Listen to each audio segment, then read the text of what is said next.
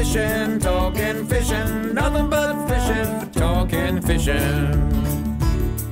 If it's facts about fishing that you want to know, then tune in, folks, cause this is the show. We'll show you all the right bait to use. So sit right back, you got nothing to lose. Doesn't really matter if it's trout or carp, flathead marlin or a gummy shark. Listen to the guys and you can't go wrong. They'll be talking about fishing till the cows come home. Talking fishing, talking fishing, nothing but fishing. We're talking fishing. Welcome everyone to Talking Fishing, a massive show coming up tonight with all the regular segments, some great catches this week land based, the picks coming up shortly in Catch of the Week. Tonight we discuss the frustration of kingfish. We tell you how you can have your say on netting around rivers, uh, sorry, river mouths in Gippsland Lakes, and we've posed the question, did the super trawler kill a whale shark last week? Plenty more on that coming up later in the show. But first up, it's a big welcome to the man who travels by kayak. Welcome, Ads. Yeah, thanks, Dave. The uh, the maiden kayak voyage, and my shoulders have never been sore. When was that? Sunday, beautiful morning. Yeah. It wasn't. it blew easterly It wasn't uh, quite. It, about wa- 10. it wasn't quite as calm as. Wesley? Where did it you wasn't launch? quite- we launched at Fisherman's Beach. Um, so Well, that went- would have been all right. Yeah, so I went was down there with the old boy. So it was all right. It was calm yeah, and close. Dad, you know, most people call him Dad, but yeah, yeah, but no, the old boy. yeah, yeah. I'm sure he's probably sorer than I am this morning, but um, Did most it of was the run, great. didn't Yeah. No, you got one each, didn't you? Yeah, we did. Yeah. Yeah, one each. So Of the Dad- new Viking, yeah, what is the it? new Viking Profish GT. There you go. And uh, yeah, so we had a had a crack at the paddle, and Yeah. I got a few fish. I think Dad's still out there fishing. I'll talk about that later, what you caught, but a, a big welcome also to the man who I heard was spotted in the surf at Noosa this morning. Is that true, Trelly? Oh yeah, you're, you're actually right. Yeah. Dave. You were in. Hang you on, said, on. you said We something were- about a whale shark earlier in the show, didn't you? Yeah, caught by a super No, now we were in Noosa, what, 10 days ago, whatever it was. Now, Just couldn't leave. You're in there this Yeah, morning. Well, I did a bit of road trip with Mary. You know, where you you know pick on a thing and just Yeah. do it. And we drove up there, and I had to get some work done and things. So um, You so- just drove to Noosa. It was a Yeah. work trip. You were And- spotted in the and surf. Strictly fact, a work trip. Yeah, ha- yeah, hey, not well was. Yeah, and had, had to cut my romantic road trip with Mary, so I'd come back and do the show tonight. So you uh. I was toes up this Did, morning. did you? This is, now, uh, he talks about toes up. One of the things uh, you would know is that we were all up at a Tack World conference about two weeks ago, and the three of us bonded in the surf um, a couple of weeks ago, and we played this game. Well, new game, well, new to me. Well, I, game. yeah, I started the new game, but me. you had to line the surf with your toes out of the water, and when a wave come through, you had to keep your head above water. Yeah. And all three of us nearly drowned. But anyway, um, uh, what a week it's been in fishing. It's been tough, I would say, in on on all accounts. And Trelly, I'm happy to hear what. You know what happened up in your neck of the woods, except you've been in Noosa a week. Um, but I think just coming up to that full moon, and it's been a big moon. Um, I think people. St- I know Ross and John on 3AW were talking about it on Monday morning, saying, "Oh, the full moon last night." Well, it's, Yeah, I don't think it's actually till Tuesday. Oh, It's- I it's think it's tonight. It's tonight. Yes. Yeah, it is. Yeah. Sorry, Yeah, I'm tonight. forgetting what Tonight. day it is. Yeah. Yeah. 40 degrees has been the heat today, but but I th- so but it's been such a big moon the last couple of nights and clear skies that people think the full moon's already here. Yep. Can't sleep. Werewolves are out and all that sort of stuff. Um, I spent 12 hours on the water on Sunday. Fished both tides in the heads for kingfish blown the hernia again. Going to see the surgeon on Thursday, I can tell you, because uh, things aren't good. Um, but it, some fishing shuts down, other fishing gets really good, doesn't it? Around the full moon, it's it's, a- weird. Yeah, it's a crazy one, and it's hard And to these pick. guys say that, but our, our, up our way, it's been really good. Yeah. Yeah, surface fishing, Lake Mulwala, it's been great. Yeah, it's had some really good results I in the think, last few days. and I think that's the key because is that surface fishing done at night? Yeah. Yeah. There you go. Yeah. So Yeah. go back one month. Um, I went with a few of the boys from work to Devil Bend Reservoir and we were catching estuary perch, and that was on a full moon casting flies. So Yep. um, the full moon is good for surface fishing, different sorts of fishing. Yep. Yeah. But I tell you what, the Doesn't kingies do- didn't yeah. bite. And, I, I was I was next to Matt Seeney for the afternoon tide, and if he can't yeah. catch them, we can't catch them. Yeah, well, I think I, it was I had tough. Similar things catching up with a few customers in the shop this afternoon. There would there would have been a dozen boats in the rip, maybe more, and for I think two I, fish. I heard got- there was over 50 boats yesterday. well, there you go. Yeah. For, and you see you No see two fish get caught out of fifty Yeah. boats. It's hard work. Yeah, it is mm. hard work. Boys, it's time to check out what the people at home are catching. It's time for Catch of the Week.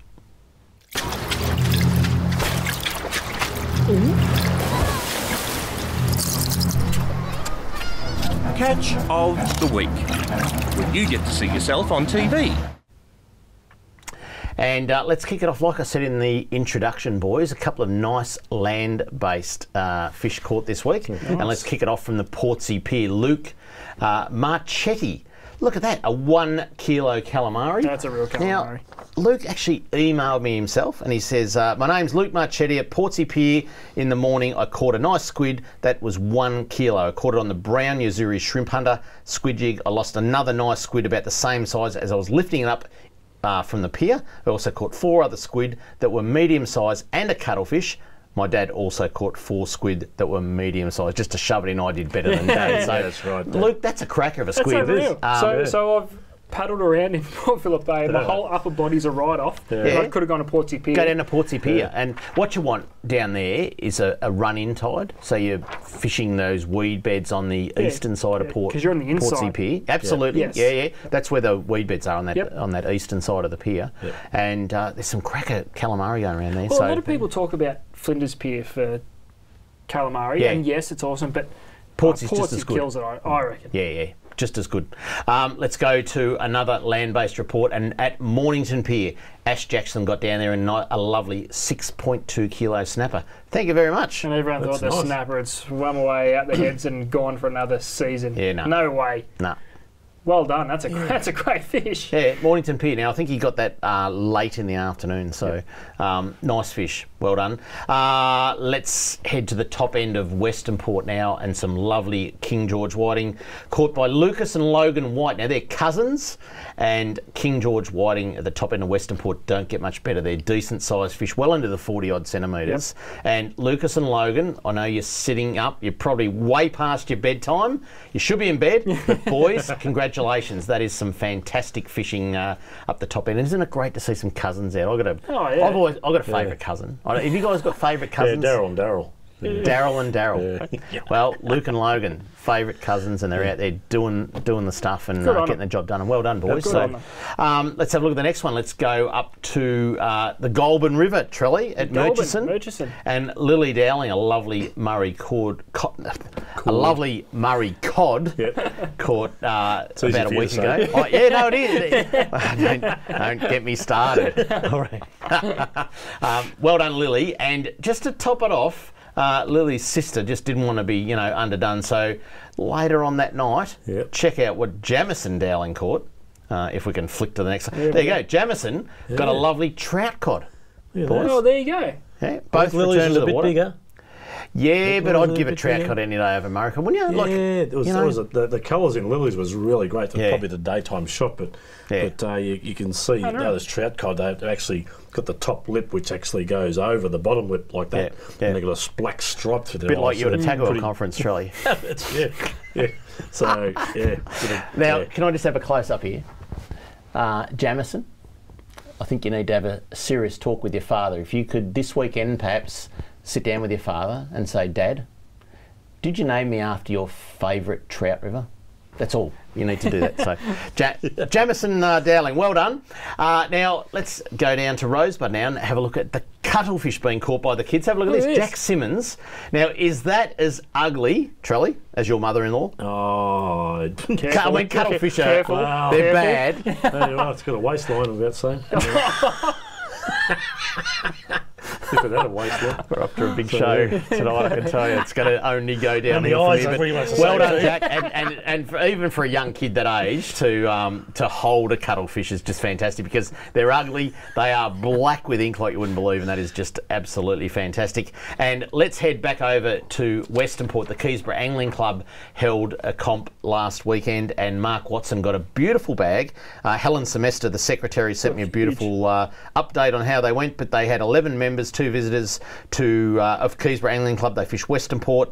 Weather was much better than expected because it was absolutely glorious. And Mark got a bag of 510 grams, um, 20 fish, 3 point. Oh, hang on. Best fish was 510. The bag of 20 went 3.96 kilos. Thanks, bag. Helen, for the That is. report, and well done, Mark. Good bag. If you'd like to send in a pic of your catch of the week, this is what you do. If you want to be like me and have your photo on TV, email your fishing pic to info at ifish.com.au. Coming up on Talking Fishing Product of the Week, and we discuss cowfish, kingfish, We'll be back shortly on Talking Fishing. Talking fishing. Product of the week. Brought to you by Tackle World. Now with eight great locations around Victoria. Tackle World, where our advice is priceless. That's why it's for free. Talking fishing, talking fishing, nothing but fishing. We're talking fishing. And welcome back now. Product of the week this week is something that is absolutely essential if you want to catch some good fish. That's your leader. So important, ads. That's right, and And we're gonna- got uh, so many different I varieties was going too. to say, so- and believe it or not, there's more than one leader. Yeah. And uh, it is it does get quite confusing because though there's plenty on the market, they're all I guess subtle variations on on Yeah. each other. So we'll start with uh, this one here, which is a supple leader. Yep. Trelly. Yep. Get a load of that. Give us a definition of supple. Well, supple. Supple, the easiest way to explain it, it's easy to manage. Hmm. Hard leaders can be quite, uh, can hold a lot of memory Yep. and can be obviously very hard, as they're called hard leaders Yeah. or tough leaders. So tying knots can be an issue depending on how, how hard it is. And this would be our number one seller through the Hmm. shops. And Charlie, I'm not, Yeah, it'd be fairly right. similar to you as well. Yeah, the. Charlie, supple that leaders are definitely the way to go. um, representative of your mother-in-law? Because I just got a roasting from Mary. But, uh, is supple representative of, yeah, easy to handle? Absolutely. Yeah. Yep, yeah, yep, yeah. Just checking. So they, they make these in a vast array of breaking strains from 20 through to 400 pound or something Yeah, out of okay. control that, which we won't use down here. But um, I've got a 40, 50, and 80 pound, I think they're Dave, Yep. which basically cover, covers our kingfish market, which Mm. we're in that season at the moment. Uh, snapper leaders in that 40 and 30 pound size. Um, but again, that, that's our most popular Yep. leader. So one of the things with um, with leader is abrasion resistance. Correct. How is this for abrasion resistance? Because I'd say this comes in a tough as well. Yep. Tough is better for abrasion on It reefs is. and stuff. Yeah, it is. So but is this okay? Yeah, definitely. Yeah. I've ne- yeah never had an issue with it because it, they still work under the same breaking strains. It's Yep. just if you're in really rocky area in particular, very Yeah. reefy area, then obviously tough would be. Yeah, this would tend to great cut choice. a little bit Yeah, easier, that's right. But it? we just Yeah. don't have that type of ground here. No. Yeah. Uh, hence why So supple. is so what was uh, cut me on your here ads on your on your product of the week, but the reason for having a leader material for starters, and I know up our way with Murray Cod, you got the gill, and Barramundi fishing, you got the Yeah. gill raker on the side, so you're using braid, which is as we're saying about abrasive Yeah. abrasive resistance, yeah, like which on, is you've got on little to no abrasion like an resistance on the oyster braid. shell, yeah, Yeah, it breaks yeah. hard. This gives you all that insurance and that last little That's bit. right. So That's right. And it gives you a bit of stretch as well, Yeah. which is hugely important, which is why the next one, boys, is made by YGK. And this is the uh, absorber, YGK Galis absorber. Yep. This is one of the most beautiful, supple leader materials I've ever seen. This is Um, not this is a supple, favourite of mine. This is soft. This is soft. This is just so good to tie, That's right. to work with. Cast. You pull a fish in, uh, you know, if, if you've got to get, say, a kingy, you've got a um, six, seven, eight kilo kingy in front of you, and you can't get the net, and you just got to hoik it in. Yep. There's no memory. These, this leader you throw it back in the water, it's just beautiful to work with. stretchy, and this is a Yeah. lure cast, lure Yep. caster's dream, because it's so easy Yep. to tie. It's very easy to cast. It keeps a low memory. That that stretch, uh, and we talk about, and it's very important because casting big lures for big fish, Yep. braid is as unforgiving as it gets. Hmm. and it pulls down. I find it pulls down in a in a bigger Oh, um, absolutely. poundages. Yeah. It Yeah. pulls down and it doesn't want to spring out. No. Yeah, So correct. It, it, Yeah, it correct. hugs, hugs however you pull it, it hugs that Yeah. knot, doesn't it? Yeah. Ads just quickly. So this one does also come in a fluorocarbon. It does, Um, which is next. Oh, okay. Sorry. yeah. Talk to you then. Wait for it. Wait for it. So, so Dave, number three is exactly the same thing, Yeah. but in a fluorocarbon. That's it. Now, the fluorocarbons naturally are quite a lot harder than, say, Yeah. a supple leader. So we just spoke about the absorber Yeah. in a supple leader. This is its fluorocarbon counterpart. Yeah. Still beautiful and This, soft. this is quite soft for a fluorocarbon. it is for a flu- fluorocarbon. It is again lure casting dream. Yeah. I would not throw a lure these days without fluorocarbon because it used to be horribly expensive. Yeah. It's not anymore. It's one of the few things in fishing where the quality's got better and the price has come down. So, fluorocarbon, I love The it. main difference between that and the last one? and the The nylon? and the nylon. Yep. Um, this basically, easiest way to explain it, invisible underwater. Yep. And again, so if you're casting lures, it's the only way to go.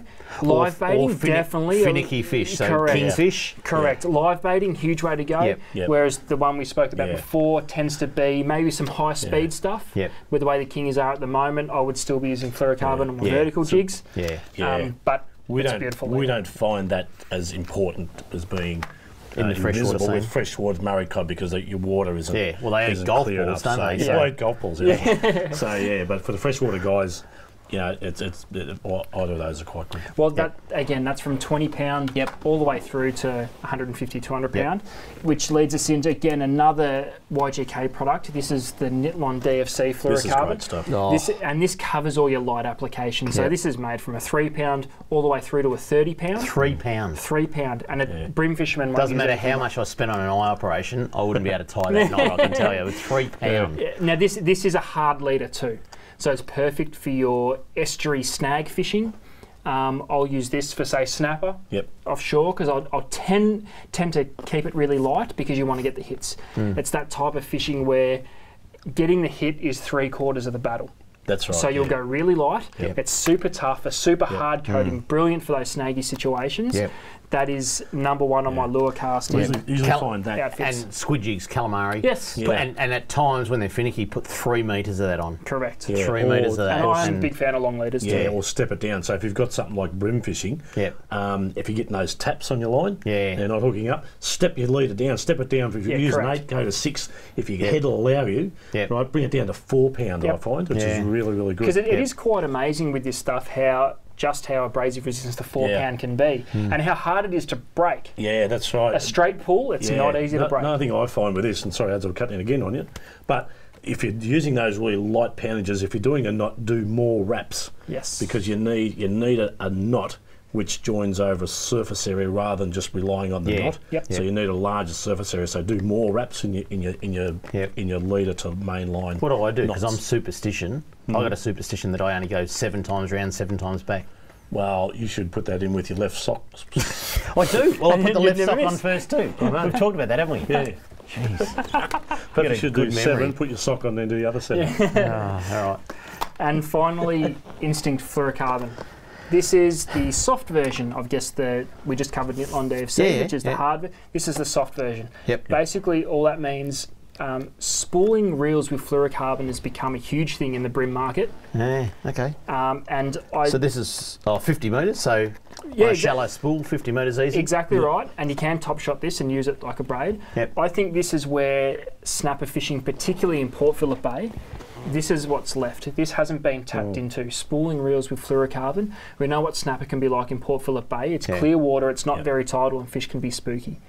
Um, a bit of 15 pound fluorocarbon onto your reel or over the top of some existing line could be the difference. Not too many people are playing Yeah. around with it. I think it's just a little gem that's got to come.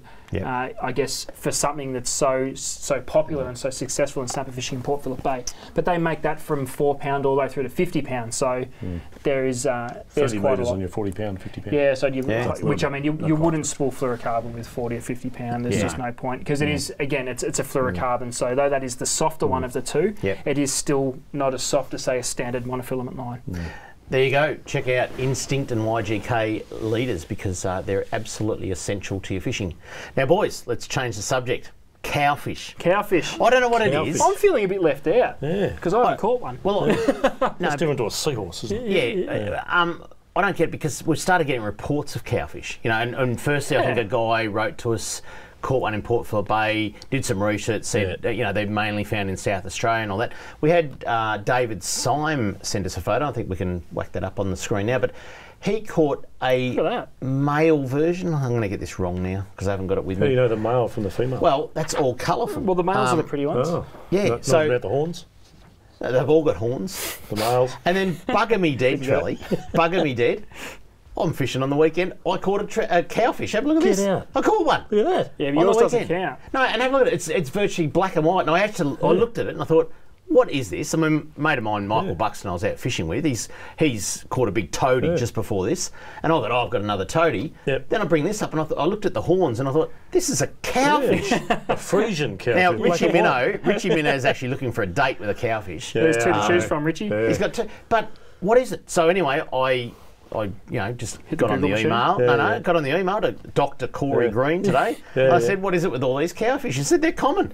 He said, "Just not many people catch them because they've got a very small mouth." But he said they're very common in Port Phillip Bay. Now, I wouldn't have thought that because I've never ever caught one, um, and I don't think we've had any reports until about the last month. Yeah, well, it's probably, probably been known as a bit of a Something, yeah. You know, just oh, it's just another Tony. Like, you know, Maybe how the- many people not pay Maybe attention it's a to? it? size 12 hook you're using.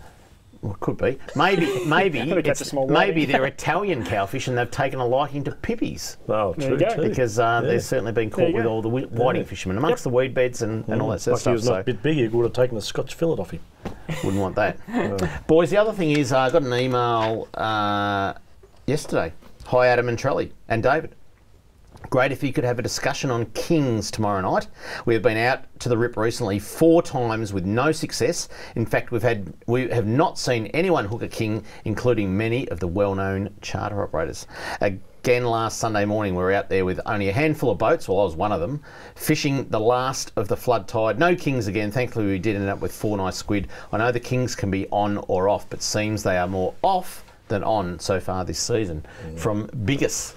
There you go. I just Um, want to say one thing about kingfish, and I was, and I'll put my hand up. I'll put my hand up and say Yeah. I got sucked into this. yeah. They've got the reputation of being this highly aggressive, highly inquisitive fish, and they are. Hmm. But Only when they want to. they're more inquisitive than aggressive. Yeah. You could, and this is why they're so frustrating gotta- because yeah. you can muck around with your lures and, and jig and Yeah.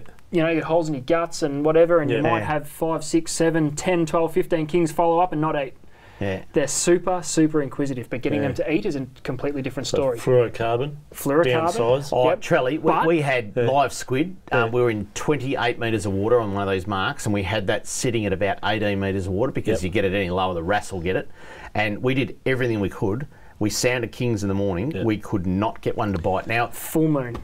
And I reckon it is. You know, they're feeding at night. They're feeding on all the all the gear that's around in the night. You know, and and I mean, from Montague Island, I you know go there every second year now at Christmas time, and we will get three days out of twenty one where the kingfish bite. Yeah, and yeah. when they go, they go. So you know they're mm-hmm. there. You know there's good numbers of fish. But you just got to have everything lined up. Water temperature in the heads on the weekend was 19 degrees. You ne- we need a bit of warm current to come in, and that could, it could next all- week could be 22 Well, degrees. Nar- Narooma, for example, if the currents aren't running, they won't bite. they won't bite. Now, so does that mean would we be better off studying, say, our tide charts and picking some of our bigger tides and maybe working around there? Well, it was one of unfortunately the- the body of water doesn't accommodate for Yeah. you know. Well, you got to line up weather, tides, Yeah, all that sort of stuff. And I can tell you on, on Sunday, it was a very, very slow tide. So, so there's all these factors, and I we're, we're fishermen. We're great at coming what- up with reasons why we don't catch What fish. leader material would you use and what poundage would you use? 80 pound 80 pound. fluorocarbon, So yeah. perhaps you want to try 50 or 40 Yeah. and go to fluorocarbon. You know, I've caught a lot of kingfish, Trelly. Yeah. They're just frustrating. Coming up on Talking Fishing Fisheries News, and we discuss the super trawler and that whale shark right after this.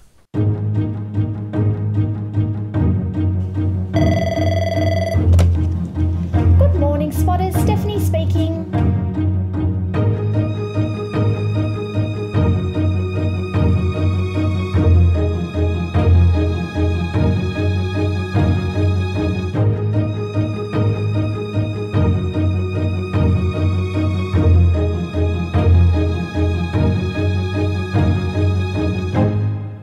Talking fishing, talking fishing, nothing but fishing, we're talking fishing.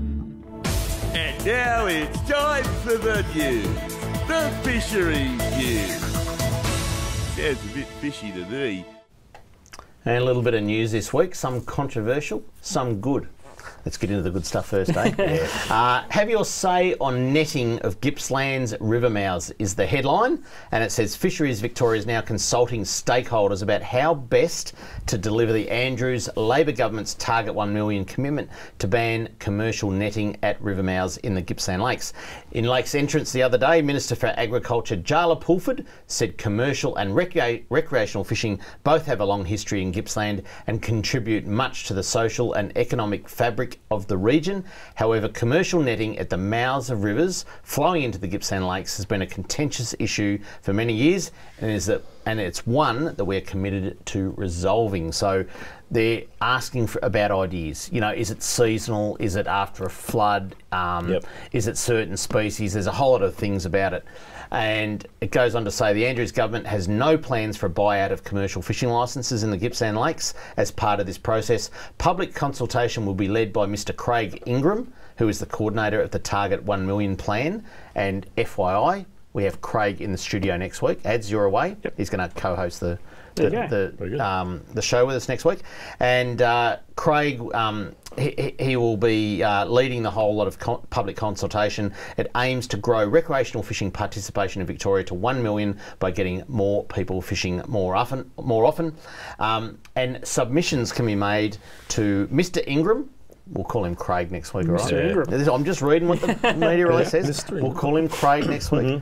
Um, Craig.ingram at eco- E ecodev.vic.gov.au. We will put that on Facebook tomorrow. if you want to know how to write to Craig Ingram, we'll put it on Facebook tomorrow morning. So, um, but you've got till the 15th of April anyway, and we'll have Craig in the studio, like I said, next week. Um, they're just asking for ideas about how to. Um, I guess ban the netting of Gippsland Yeah. Lakes mouths. Yeah. You know, is What it are a what are the 300? Is it a 500? Is it a one kilometre radius out from that? Yep. They want ideas, and uh, anyway, that's good. Bit of consultation. your say and- too. Yeah, um, because it's it's not just black and white. No, it's not. Well, you Yeah. always got to know your facts on these things, don't you? Yeah, Yeah. I, I, yeah, no idea. yeah. Absolutely. Another big uh, item that's in the news, and there was a story in the Australian the other day, and it did reach Channel 9 News tonight at 6 o'clock. I know Rex uh, was the spokesperson for all the recreational fishers, but Melbourne scallop licence, the head, this is the headline Melbourne scallop licence absolutely conned recreational fishers. A battle between a canny fisherman, his allies in Melbourne's high end restaurant trade, and recreational fishers has erupted over the tasty scallops of Port Phillip Bay. The row has lawyers battling it out in the Supreme Court. Now, it was in this was in the Supreme Court, boys, earlier, uh, sorry, later last year, over plans to turn a boutique fishery into an export behemoth, while celebrity restaurateur Neil Perry has emerged as an advocate for the firm driving the expansion. So we went through this Yeah. last year with the netters. Neil Perry's come out now. Obviously, he's on the side of the commercial netters, uh, and this scallop guy. So Neil's saying, "Yeah, we've got to have scallops in here," but this guy's asking for 750 tons. Well, like you say, David, it's a boutique industry and was set up Yeah. like that for one single license. But now it's gone to a point where Yeah. it's it's it's expanded beyond the boutique industry. Well, this is this is what's happened, Trelly. Yeah. This is what's happened. Recreational fishers say a loophole in a license sold for just one hundred and eighty thousand dollars to fisherman Bruce Collis has seen Mr. Collis seek to lift the quota on his catch from twelve ton to 750 tonnes. An export oriented, oriented harvest that would reap more than $13 million per annum in revenue and see a fleet of boats working the scallop beds. So, who, who uh, would one of you guys invest $180,000 to earn every 13 day, million? Mill, yeah. every day. It's not a bad return, is it? yeah, they didn't even lend me the money. Do you reckon, just a yes or no answer, both of you guys, do you think he's got a monopoly on a public resource here? Hang on, let me think. One license? Yes. There you go. Um, this Yeah, is, and, and, and I tell you what, some recreational anglers just don't realise the effect of this, and we don't know. I'm not saying we're scientists, but if you take 750 tonne, now if you convert that, I know Rex did this calculation on his calculator because he worked out how to use it on his iPhone. 750 tonne divided by 365 days or 366 this year because it's a Yeah. leap year. D- uh, it's like you got to pick up thousands of scallops a day. Is it even possible? I don't think it is. Anyway, it went on to say this story in the Australian and on Channel 9 News tonight. The licence was awarded under the previous government, and the new guard in Fisheries Victoria, that's Travis Dowling, uh, is trying to restore the original vision of a boutique operation amid Supreme Court challenges from Mr. Collis's company. Agriculture Minister Jaala Pulford said the government wanted to support recreational fishing in Port Phillip Bay while allowing a sustainable longline snapper fishery and a boutique scallop fishery. Enough said. There you go. Um, I, this, that's going to be battled out in the Supreme Court. There's Mm. no doubt about it, and uh, it's not good. No. It's not good. Well, It's, um, it's outside the spirit of what was all set up for. Yeah, isn't correct. You want to be able to go to Rockpool or Neil Mm. Perry's or whatever, and uh, even though there's no Port Phillip Bay fish on there, but apparently it all comes from there. Uh, but you want to be able to get some Port Phillip Bay scallops, but you Mm. can't. So, uh, next one, last bit of news, uh, and this is all over social media, um, and um, just don't worry about the third slide because it's uh, someone's doctored that up or taken it over in some foreign company. But did the super trawler kill a whale shark last week? It's a now we saw in big i- if thing. you read Narooma News, and I love Narooma News, a great publication, and uh, just good to read what's happening on the south coast of New South Wales. Stan Gorton, the editor, wrote uh, there was a whale shark encountered on some of the marlin grounds a couple of weeks ago, Yep. and you know some of the guys got in and dived with it and all that sort of stuff. Fantastic, but have a look at here. So SPFIA, and I don't that stands for something to do with the fishery, says the whale shark was avoided. Obviously, that's the, the guys with the super trawler. The crew said the whale shark was dragged by its tail. It was lifted onto the back ramp of the ship. 45 minute interaction with the crane would have caused death.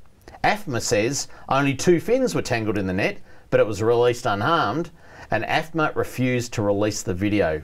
Now, Trelly, you're on the board of AFTA, Yes. the Australian Fishing Trade Association. They are fighting so hard to get that video released, aren't they? Well, they are. I mean, you, you need, again, in these situations, you need clarity, you need to know what you're talking about. Yeah. So these guys are operating uh, well within what they what they can, but, but some of these things bring into question what's going on. Well, we've had dolphins, many dolphins Yeah. killed. We've had seals killed. Now whale shark. Yeah. This thing is it just takes everything in its path, and it is taking a lot of bait from some of our game fishing grounds. The thing is, uh, and and the, the game fishing is in those areas because of the bait. So naturally, the, the super trawl is going to go to those areas too because that's where the bait Yeah. is. So Yeah. uh, yeah, there needs to be zones set up. I think around recreational fishing where they can sort of where Yeah. they can sort of do this. Please get onto Facebook, check out Stop the Super Trawler, support them, support AFTA because this is a big fight that is it's just not over yet, and it needs to be over very very soon. Up next, Kramer's mailbag and plenty more on talking fishing.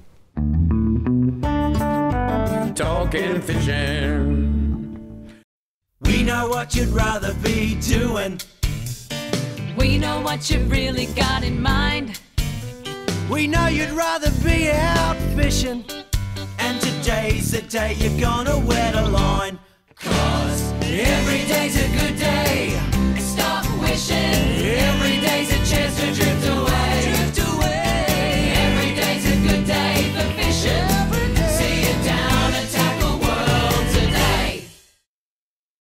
Talking fishing, talking fishing, nothing but fishing. We're talking fishing.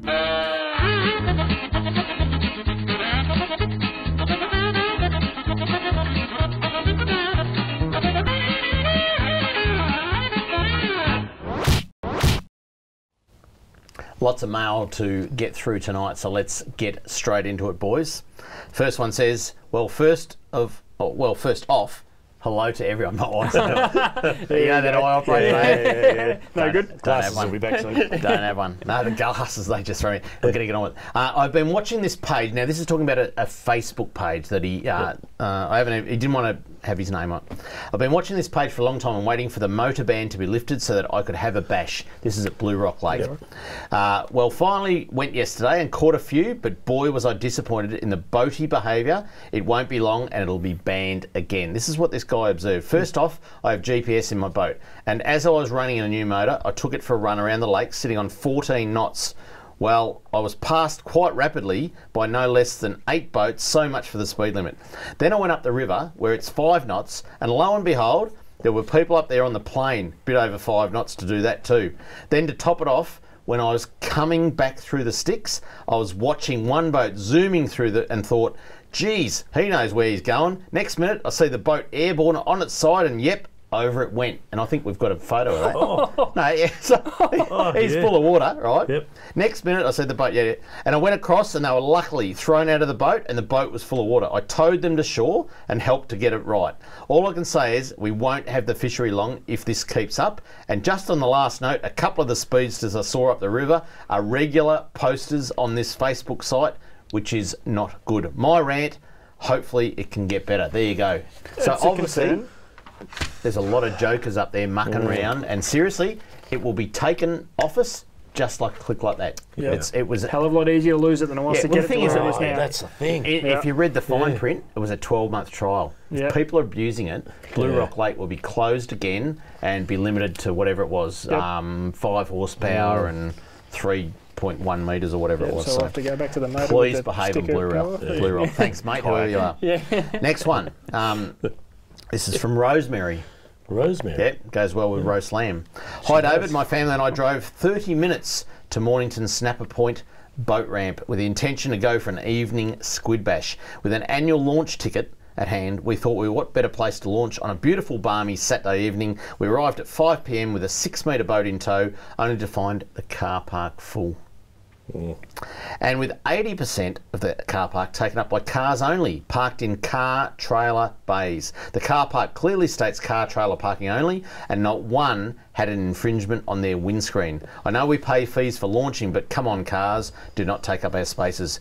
Took two very disappointed children back home. That's that's why That's yeah. one Mm. authority policing it. Got to get better at our boat ramps. That's like a handicapped person Yep. pulling up in a handicapped parking bay Hmm. when there's a parking bay next to it. What? Well, I should put it up in the parking bay next to it so they can let the other handicapped person use that one just in case. Was that you the other day? I saw a handicapped person park in a normal parking bay, and I saw someone get out and abuse them for parking in their spot. I Anyway, no, no, don't get me started. Anyway, let's keep going. Uh, this one, we were going to have a segment called "Don't Get Me Started," but seriously, what we received in the mail, it's Too just far? it's too gone too far. We cancelled the segment. I'm sorry, but don't get me. We might throw up a little bit of "Don't Get Me Every now Started" and every then, now every and now then. and then. But this one is "Don't Get Me it's not Started." dead. don't get it. don't get me started. Hi David. Tuesday night on the show, you showed a photo sent in by Kane of a forty of a, a forty-eight centimetre Murray cod with three golf balls in it. Uh, caught at Cobram. What the hell was he keeping a cod 48 centimetres? The legal size of cod a 55 to 75. He must not have he must not have a license, otherwise he should have known. By the way, the golf course is some distance from the Murray. Don't get me started. Well, I looked up Kane's email and it says. Hi guys, caught a 50, 58 centimetre cod at Cobram. So sorry if I said 48. Sorry if we got it wrong, but some, one of us did. Um, 58, no problem at all, except they eat golf balls. The next one, um, hi boys, sensational idea for a segment. And I think that's got to do with uh, don't get me started. Yeah, yeah. Uh, I went for a fish.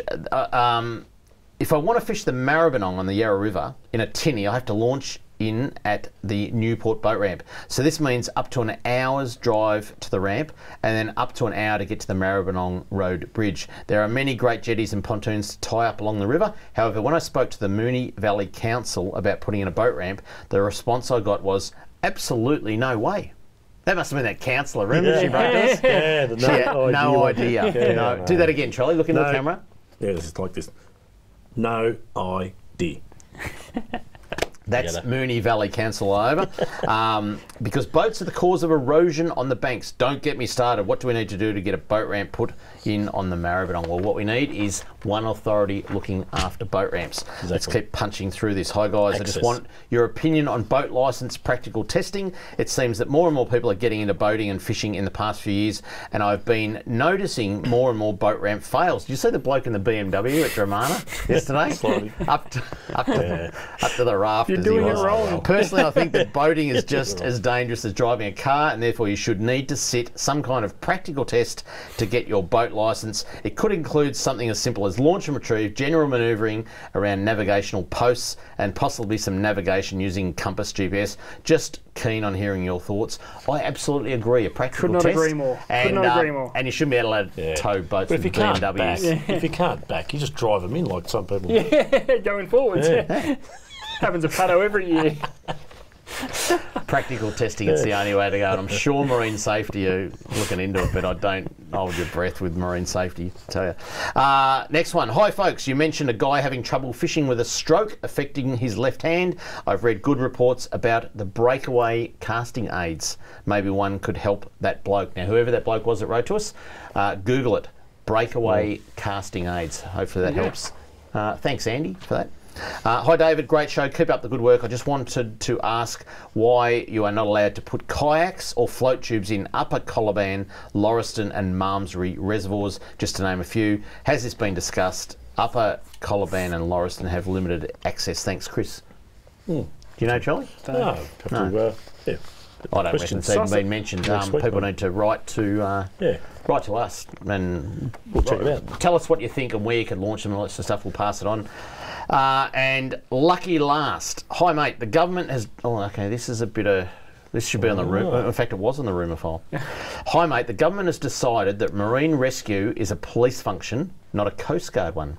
The Coast Guard is frankly going broke as a completely volunteer organisation, and the government refused to give them any support whatsoever. They have now had to cut out weekday services no, i.e., no tow-ins during the week. This will encourage well-meaning boaties to get involved in the dangerous act of towing. The item was discussed on the rumour file on 3AW last week.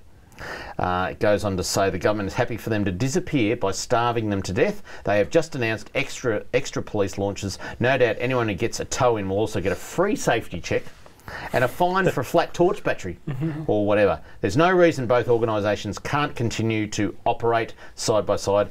I can see a situation where people in trouble might be reluctant to call the police and make poor decisions as a result.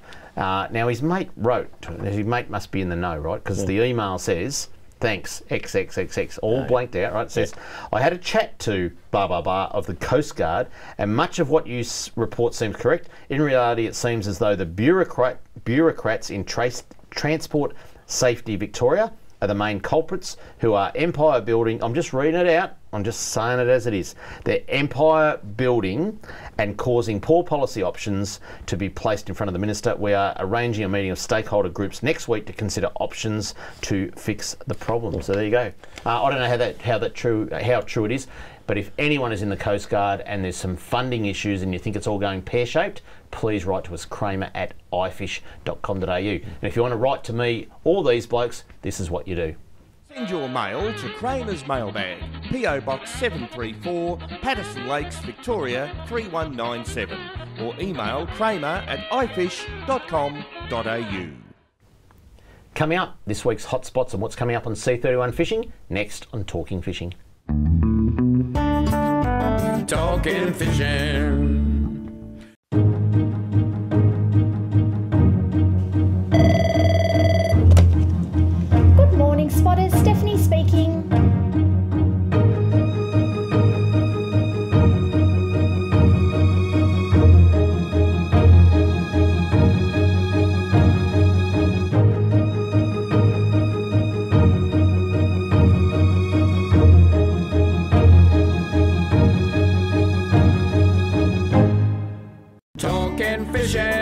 Talking fishing, nothing but fishing. We're talking fishing. Hello, Richie Minnow here. It's now time for this week's fishing hotspots on Talking Fishing. Marvellous. Do you reckon we could get an animation, a- animation right? You might, might get one of them as Animation, well. of Richie Minnow chasing a cowfish? Oh, I reckon. Because he's in love. Yeah. I, I mean, I've had a serious talk with Richie Yeah. Minnow because he has a few head uh, o- head relationship over- issues. Yeah, head over Finn. Yeah. We should give him a Just- cow prodder. A what? cow prodder. I'm not sure if everyone, already have one. everyone knows at home, but Richie Minnow actually has a Facebook page. And he's um, single. Yeah. And he's single, and he's looking for a cowfish. So get onto Facebook, please, and uh, have a look at Richie Minnow and like his page and all that sort of stuff.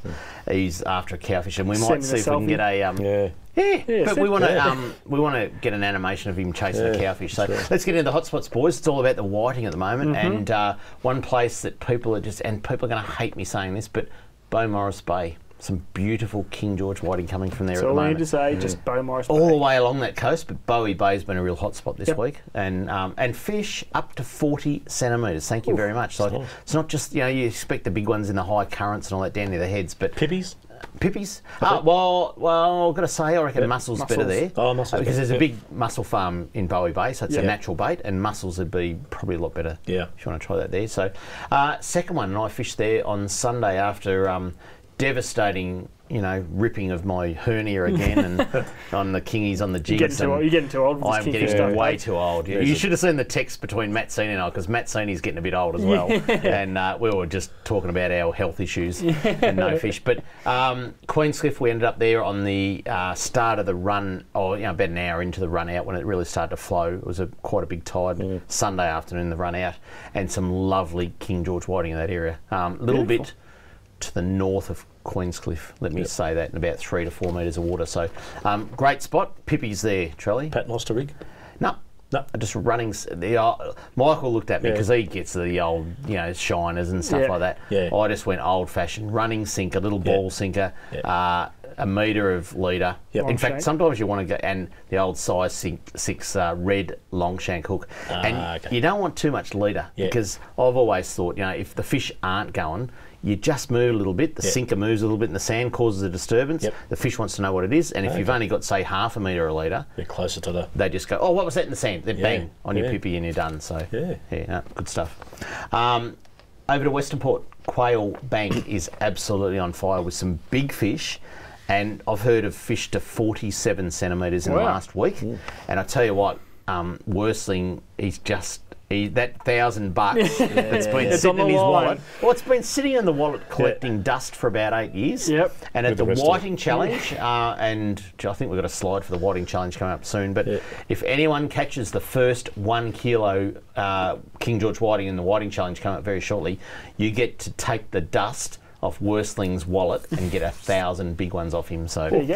Bank, good Quail Bank is the spot to uh, start. And the other one is down near Balnarring, just around the corner. Uh, Sandy Point is just on fire as well, but smaller fish, but good numbers of them as well. So Yep. great, great place to be. Let's uh, look at the the freshwater scene, and Lake Bullen Merri has just been absolutely on fire. Check out some of the social media sites around Lake Bullen Merri. And Charlie, I think you're all over it. Your boys at Geelong. Yeah, they've getting some great reports back from there. So redfin. Yeah, uh, no, but also big rainbow trout. So remember a few years ago at Bolac, those trout that were they were very deep Yeah. and fat, not not so much long, but Yeah. um, fish up to two and a half kilos, rainbows, um, and they're big and fat. They're like football, so there's obviously a lot of bait in there. Yeah. And the other thing is the Chinook salmon. I was going to say they'd be Yeah, a yeah. big size Mon- now. yeah, they're, now they're getting up around the four or five kilo Yeah, mark they'd be now. huge so now. Um, some very big fish around there, so Beautiful. worth worth looking at.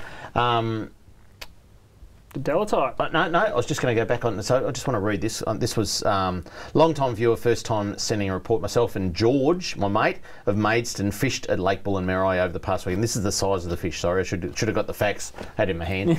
uh, several rainbow trout from 1.4 to 1.95 kilo, and large salmon to 2.65 kilo, all caught down rigging using hard body lures. The Western Lakes offer great trout opportunities during the summer uh, by downrigging, although boat access is becoming difficult due to low level waters. A sample of the images are attached, and I didn't have them, sorry, because it was pretty late getting that. So, Yep. um, and lucky last, the Delatite River. Um, there's some fantastic trout coming out of the Delatite, and uh, for those people that went to the Talk Trout Festival, Trelly, in Mansfield. yeah, that told us that the. Delatite was the best uh, river out of all, It the, did all the actually. rivers. Had so- about seven studies on different rivers, didn't yeah, it? Yeah. And uh, they did a well, they electrofished and they worked out uh, how many fish per hundred metres. Yes. And Delatite had the biggest count. So Delatite River, hard body lures, spinners, all that sort of stuff uh, during the day, and at uh, evening rise when all the insects are out, get onto those Good flies time of because some for that. Sensational uh, fishing. I'm going to talk about trout in a minute, Trelly, but. What's coming up on C31? You, you've got it this week, haven't you? Here we go. Yeah, Right. what's coming up? Okay, tonight after our show, we've got uh, Catch and Cook. And who's on Catch and Cook? You said it? Ronnie and Gina. Ronnie and Gina. And Okay. old mate Neil. I, And I- Neil. Oh, it's think- Neil, is it? Yeah, I Black think- No, well, you know that bloke that we don't know his name. I text Ronnie and said, "What's this bloke's name?" And he said Neil. I'm sure he Oh, said oh. Neil. No go. disrespect, Neil. You do a Yeah. hell of a job. Wednesday, 6.30 on the fly. Uh, Thursday, there's a repeat of Talking Fishing at 7am. Don't miss that one, Charlie. No, Tape it. That's it. 9 p.m. Uh, Oz Fish TV. Uh, 9:30 p.m. on the fly. Friday at 6:30 a.m. Catch and Cook. 12 noon. You Fish TV. Saturday a repeat of Talking Fishing at 9 a.m. Just in case the record didn't work on Thursday. That's right. Yep. Often doesn't. 10 a.m. we've got Catch and Cook again. 10:30 we've got Savage Seas Adventures. 11 a.m. we've got Ozfish TV. 11:30 a.m. we've got That's Fishing. 12 noon You Fish TV and 12:30 on the fly. So that's all morning there. Saturday night 6 p.m. we've got Savage Seas Adventures. 6:30 p.m. That's Fishing. 7 p.m. You Fish TV and 7:30 p.m. Catch and Cook. There we go. Wacko. Just don't go anywhere on a Saturday. Leave it on C30. Yeah. That's right. C31. Yeah. There you go. And if you're You can go. Or you can go for a fish. bed and watch You can go for a fish between one and five thirty. yeah, Be back in home time for another six Um, o'clock start. now I'm not. I'm sworn to secrecy, right? yeah. But can I just say on Saturday, just take the break from C31 and watch the news. Uh-huh. Uh, some Oh, big news happening on Saturday. Don't you worry about that with fishing. Just watch the news on Saturday, please, 6 p.m. Um, it will be probably the biggest news that Port Phillip Bay has ever, ever, ever heard in the history of our fishing generation. So, There we go. Um, Wow. a- an announcement. hints? Announcement Not pending. that's- No, Not sworn to something that's hanging up in the background or anything like that. Which you know, life jackets, no. No. Uh, no, sworn to secrecy. Um, a big announcement on Saturday. Just wait for it. 6 p.m. news. Any station, they'll all be there. I'm telling you, they'll have helicopters. I reckon. Oh wow. That's how big it is. it might just be me and kayak getting lost. It could be too. Boys, uh, we said we've been saying there's been no trout reports. Well, uh, Shane Cudmore, I think his name is, from Seddon, has been good enough to write to us, and uh, he bought a little shack up on the Jamieson last November, and he said, "I'm going to write you a trout report." So uh, he's got a great report for us, and it says uh, the key streams fished have been the Delatite, Yep. the Jamieson upper and lower reaches, Taponga, and the upper Goulburn River. Yeah. Uh, he's saying that uh, all streams produced a mixture of rainbow and trout during each outing. Fish to hand ranged in size from fingerlings at 10 centimetres to 40 centimetres, with multiple larger models spotted in excess of 50 centimetres in those rivers. that's a. Hookup rates varied from river to river, ranging from 1 per hour to 10 per hour. All in all, the waterways are healthy and plenty of natural recruitment taking place. Beautiful. So that's That's what we good to hear. Yes. The Delatite and Jamieson have been the standout rivers thus far. These rivers both require effort to get to the more productive water, both producing upwards of 20 fish from a three-hour session, which makes the effort worthwhile. Now, what? So what he means by that is you actually got to do a bit of walking. Yeah. Pull up on the side of the road, walk into the bush. You might Yeah. go an hour and a half, but you'll find some pristine waters. Mm. And just uh, you know, there's some, some great fish. A little further afield in the Mitta Mitta Valley, reports on the evening rise have been exceptional, with many fish to the 40 to 55 centimetre range being taken. Flyer choice has been the hopper pattern, and for the keen trout angler, summer shouldn't be shunned. There are plenty of fish on offer, to, so get out there and don't be afraid to explore a little further afield. Do the miles, and get report. the smile. So, um. Thanks heaps, Shane. Thanks for that. So, uh, the Western Port Angling Club Whiting Challenge is coming up. I have no information with me apart from this slide, so I'm going to try and read it. It's the 27th annual Amateur Western Port Whiting Challenge. It's on Saturday the 5th and Sunday the 6th of March. Uh, 1,000 smackaroonies there from Paul Worsteling if you catch the first one kilo fish. Major prize is an aluminium boat, uh, 20 horsepower motor, uh, trailer.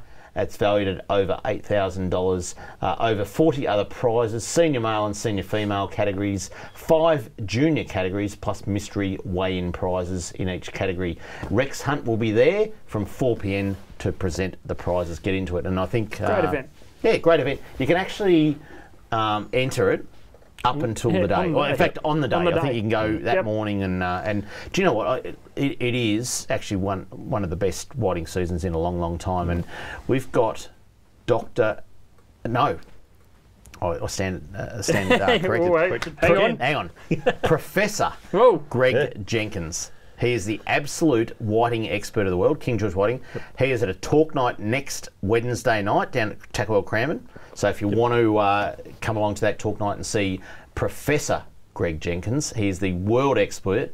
And then uh, three other people that are very, very average Steve Johnson, myself, and Scott Harper. We are going to try and tell you a little bit about whiting fishing. But uh, it's a big talk night. Ring Tackleworld Cranbourne tomorrow to book your seat next Wednesday night, 7 pm. Professor Greg Jenkins. It's going to be a big night. Yeah. Beautiful. Um, what he doesn't know about whiting is Not just knowing. not worth knowing. It's just not worth knowing. So that's it for Talking Fishing. We hope you enjoyed the show. Next week, we're joined in the studio by Craig Ingram, who heads up the Target 1 million team at Fisheries, with an update on where some of the election promises are up to. It's looking like another calm weekend on the bay this week. Make sure you send us all your fishing pics. Until next Tuesday evening on Talking Fishing, please stay safe on the water and enjoy your fishing. Talking fishing, talking fishing, nothing but fishing. We're talking fishing. We got all you need, just take a look. Watch those fish jump on your hook. So just relax and take your time. Enjoy the show, then drop us a line. Talking fishing, talking fishing, nothing but fishing. We're talking fishing. Talking fishing, talking fishing, nothing but fishing. We're talking fishing. Talking fishing. Have a good weekend, Mr. Walker. You too, son.